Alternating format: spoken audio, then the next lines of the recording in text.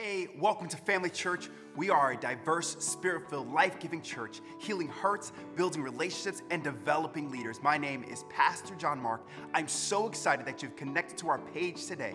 Be sure to grab a notebook, a pen, a paper, your phone, however you want to take notes, and get ready for today's message. We've been in a series called Stories of Jesus. Today's story is the feeding of 5,000. Has anybody ever heard the story of the feeding of 5,000? Yes? I'm sure our children have learned it. And let's go ahead and read it today out of the book of John. Children, I promise to make this fun and fast. Is that all right? We're going to get through this quick. John 6, verse 1. Sometime after this, Jesus crossed to the far shore of the Sea of Galilee, that is the Sea of Tiberias, and a great crowd followed him because they saw the signs that he had performed by healing the sick. You see, seeing your miracle is the second phase of faith, right? If faith comes by hearing, and hearing by the word of God, but then you must see it. These people are seeing the manifestation of the word that they've heard. All right? They saw the signs. Then Jesus went up to the mountainside. He sat down with his disciples. It was the Jewish Passover, it was near. When Jesus looked up, he saw a great crowd coming toward him. He said to Philip, So Jesus says to Philip, Where shall we buy food for all these people to eat? Watch this. He asked this only to test Philip, for he already had in mind what he was going to do. It was a setup. Philip, how are we going to feed everybody? Jesus already knew that he was going to perform a miracle. He already knew that he was going to duplicate bread and feed everybody. I want you to know today that maybe Jesus might ask you some questions in your life that he already knows the answer to, but you don't yet have the faith for it. Amen. Sometimes he'll ask you a question to build faith in your heart. Philip answered, It would take more than a half a year's wages to buy enough bread for each person to have a bite. Now, in another version of the Bible, it says it would cost 200 denarii to feed all these people. 200 denarii today would be about $11,000. It would be $11,000 for everybody here to get a bite. Now, let's just think about that for a second. The Bible says that they fed 5,000 men, which means that did not include women and children. Could it be that maybe there was 11,000 people 11,000 people that was going to be fed by this miracle that Jesus did. Another disciple, Andrew, Simon Peter's brother, spoke up. He said, Here's a boy with five small barley loaves of bread.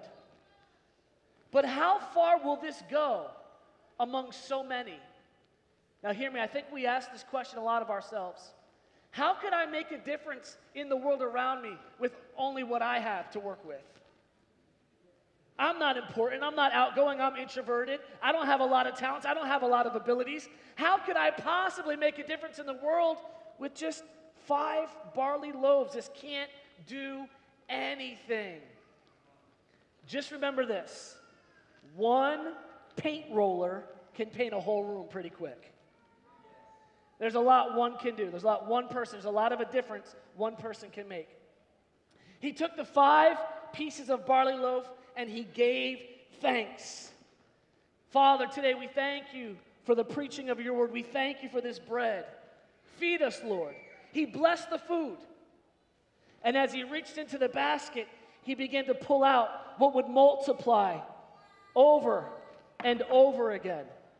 Over and over again. Five small barley loaves turned into enough bread to feed the multitude five barley loaves as he reached in, multiplied and multiplied and multiplied to feed more and more and more. I don't know what God needs to multiply in your life, where you think that you may lack or be falling short, but God wants to do a miracle in your own life. God wants to multiply the dead things, the small things, the broken things in your life. Watch this. Five loaves and two fish. We're not going to talk about the fish today. Because if I multiplied fish enough to feed everybody, it would be pretty smelly in here. Today we're going to just look at the bread. When they had given everybody enough to eat. Jesus said, Gather the pieces that are left over, let nothing be wasted. So they gathered it all and they filled 12 baskets of leftovers. Think about that. Now, I'm going to talk to the kids for a moment. How many pieces of bread did we start with? Five. And how many baskets of leftovers did they take back? Twelve. Five small pieces of bread had 12 baskets of leftovers. In the room today, there are 12 buckets of bread, full of bread, to feed everybody in the room today. We got to remember this number 12, okay? 12 baskets of leftovers. After, they, after the people saw the sign that Jesus performed, they began to say, now pay attention, surely this is the prophet who is coming to the world. This, they called him a prophet. They didn't call him, surely this is God. They did not say, surely this is the Messiah. They're saying, surely this is a prophet who's coming to the world. And watch, Jesus knowing that they intended to come make him king by force, withdrew again to the mountain by himself. I want to look at this. That last phrase is very important.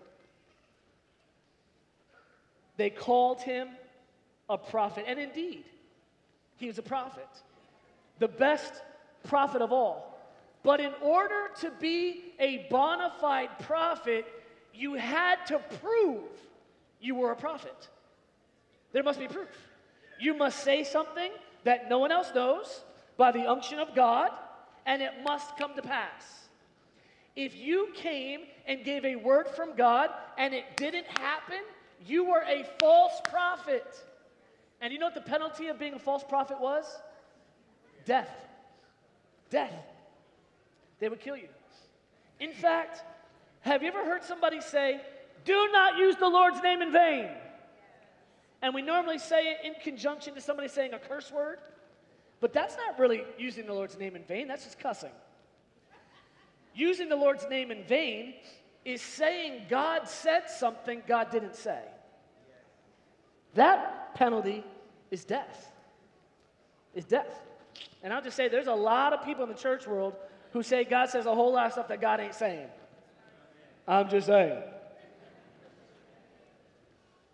But this miracle right here, the feeding of the 5,000, was a miracle to prove that he was gr- a greater prophet than any other.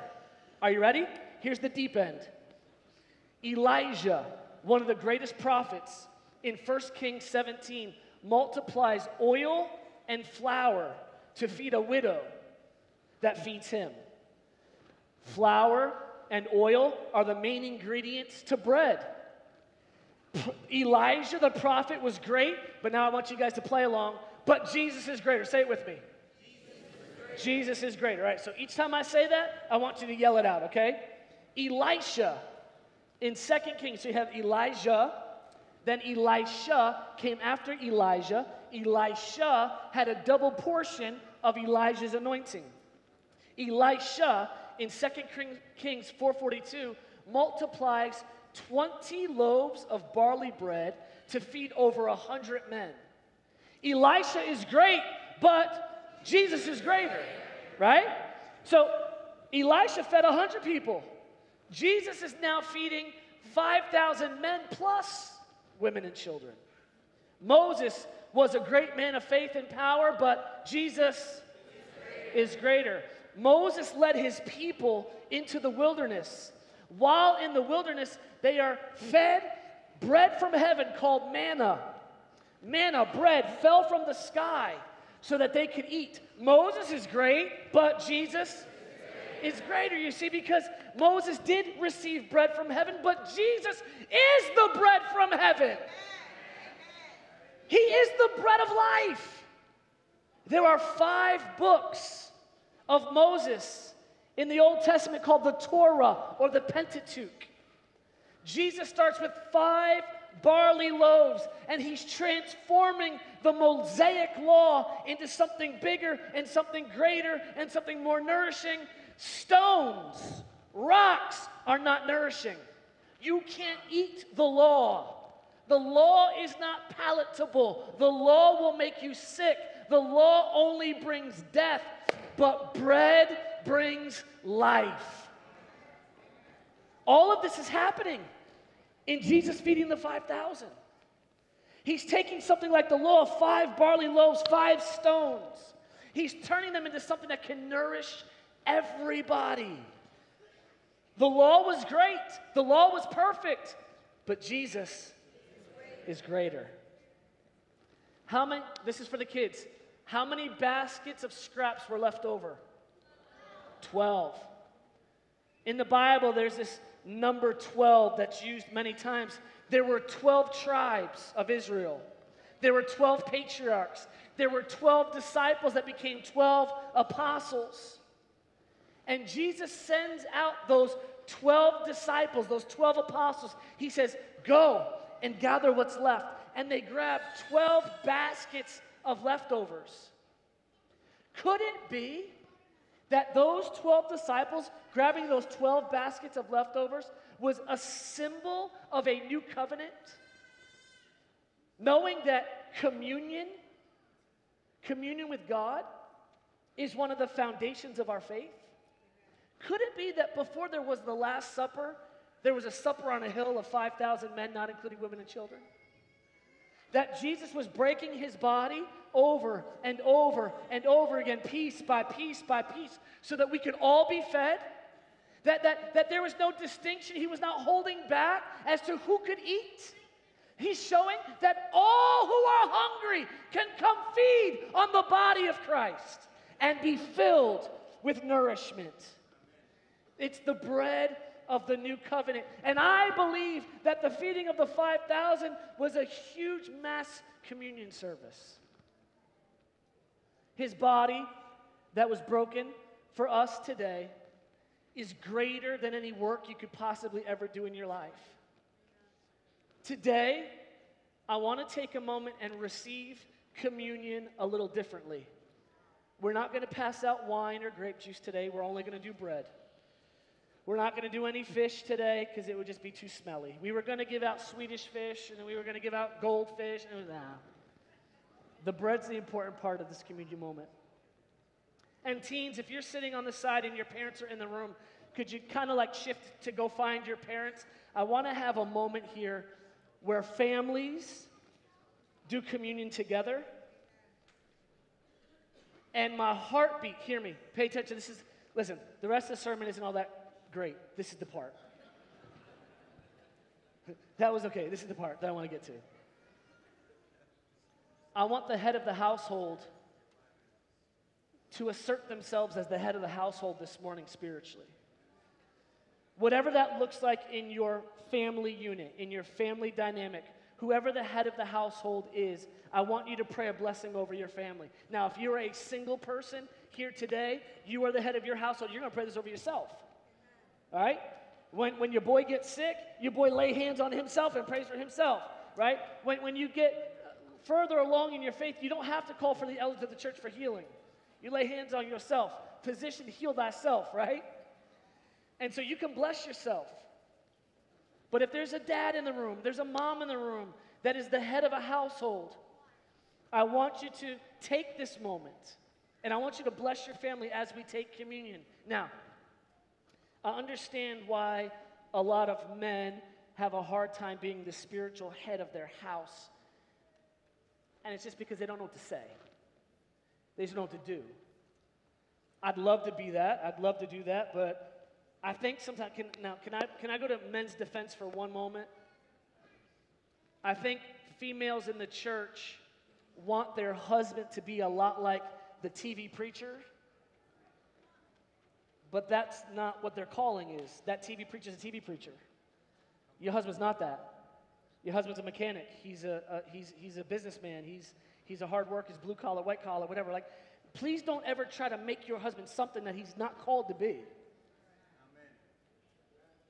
But I do believe that men, given the proper tools, would be more of a spiritual leader in their home if they just knew what to do. Now, I am being a little biased towards fathers in the room. It's just a vision that I had. I believe that if I can reach fathers, if I can reach husbands, we can create the next generation of fathers. I, am going to make a shift real quick. I, I just need to shift here real quick. There's a problem in our church world today, there's a problem in society today that parents raised good kids, but parents didn't raise parents. Fathers didn't raise fathers, they raised good sons, and they've kept them as sons. There's a problem when a father won't get out of the way and let his son be a father. We've seen it in the church. In the church world, there's these guys who they're 75, 80 years old, still being the main pastor of the church, and they won't get out of the way for the son to be the father. At what age does the son become a father? At what age does a son who now has his own kids and grandkids become the father that everyone goes to? Today, in the spirit, I believe that we need to take a shift.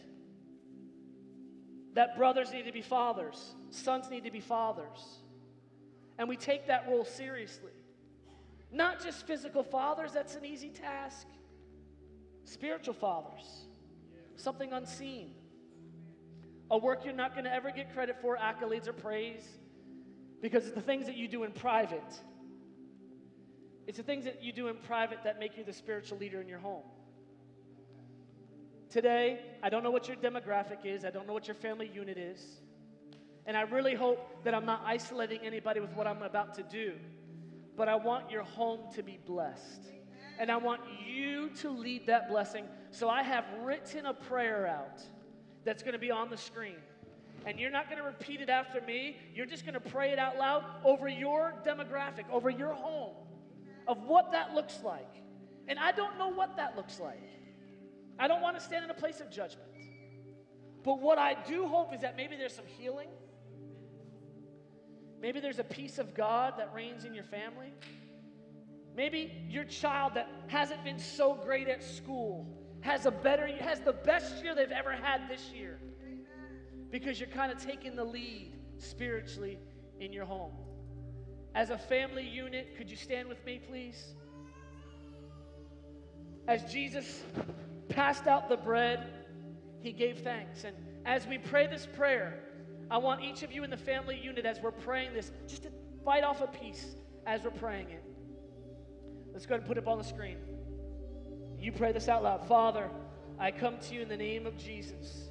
As the head of my household, I lay before you the 2022 2023 school year and fiscal year for my family. I trust you, Lord, to lead, guide, and direct me to make the right decisions this year that will help best help my family, lead my family. I bless my children in the name of Jesus, the name that is above every other name. I bless my spouse in the name of Jesus. My family is the head and not the tail, above only and never beneath. My family is blessed in the city, blessed in the field. Everywhere my family's feet walk is blessed because we are children of the Most High God. Lord, I thank you that everything they set their hands to will prosper and be successful. I pray for protection over them and help guard their hearts and their minds. Protect them at school and at work. By the authority given to me by God our Father, I declare this blessing fulfilled in my family's life. In Jesus' name, amen. Thank you for watching today's message. My name is Ashley, and if this message has made an impact in your life in any way, I'd like to ask you to do a couple of things. First, we want you to like and subscribe to our channel and join us right here every Sunday at 9:30 a.m. or 11:30 a.m. The next thing I'm going to ask you to do is take a next step on your journey, and we would love to help you do that you can head on over to familychurchny.com or email us at team at familychurchny.com to get started today.